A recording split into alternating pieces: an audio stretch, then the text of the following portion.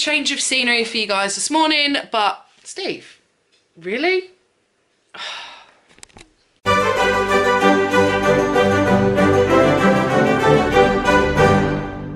Hi guys, welcome back to my channel and welcome back to possibly the quickest video I am ever going to have to film, edit and upload because I don't know if you see the clock from there but it is 9 o'clock and I have to leave in half an hour because I'm unorganised and the dog's been a nightmare this morning and we've just been very busy this weekend. So this week has been super busy for me. I've had so much to do, especially just in this last like three days, four days. Um, I went to Slimming World on Monday and I had gained three pound. Now, after the week I had last week and just how I had eaten and how I felt, I wasn't surprised by it, to be honest.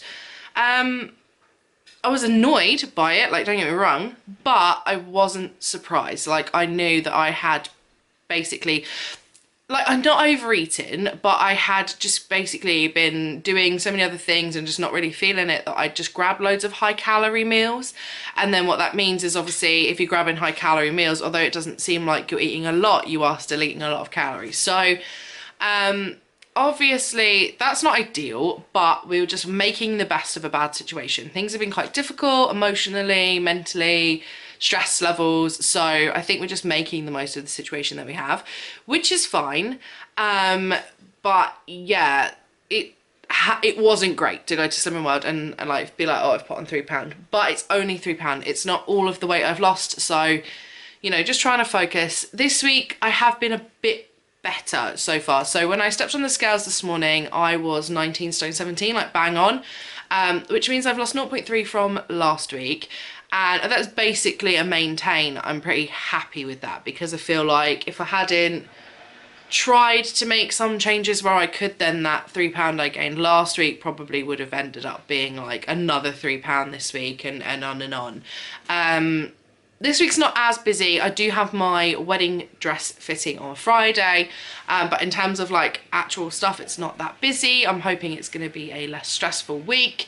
Um, in terms of like some of the other stuff that's going on, there's really not a lot we could do at the moment. So we're just sort of waiting to find out how things are going to go. Um, so there's no point like trying to second guess all of that or anything. So yeah, it's a difficult time. Um, I think it's right, something that's really funny to me is like um, everyone, so basically everyone I know said to me, weddings are so stressful. In the run up to your wedding, you're going to be so stressed out, you're to have so much to do, da da da da da. And I was like, no, I'll be chill, like it's not a problem, I'm not like bridezilla, like it's fine. And in terms of like the actual wedding stuff i'm not really stressed about that because like kind of we've got everything kind of in place and now that i've got all my centerpieces stuff um planned and i've just got to do those bits and pieces i'm not stressed about that. I've had loads of appointments and like stuff i've got to like fit in in a short space of time so that's been like it's stressful about time management but not actually stressful about the wedding. Um but it's like outside factors that are stressful like other people and other things that are going on that's actually causing the stress which i find quite interesting um, so yeah, we are now, what, officially less than two months to go because yesterday was the 9th. So yesterday was two months to the wedding.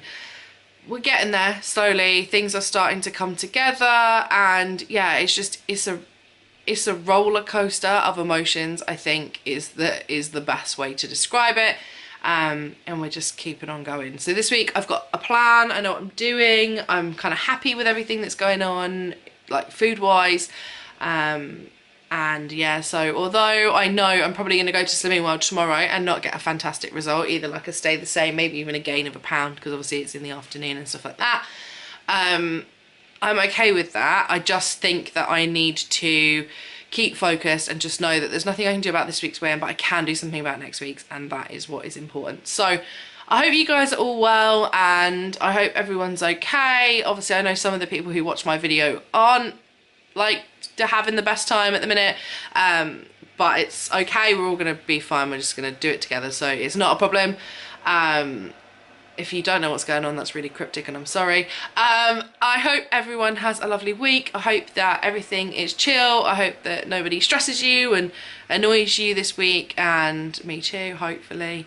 Um, so yeah, I will catch you guys next time and I promise it'll be a longer, more updated video next week because this week I have just run out of time, but I can't not upload a video. Like, emotionally, if I didn't upload a video, like, I think I would be, I'd be sad because it's my thing now. It's my thing to do a video, so I would be sad if I didn't do it. I'd miss, like, talking to you guys. So, I hope you're all great, and I will see you next time. Bye.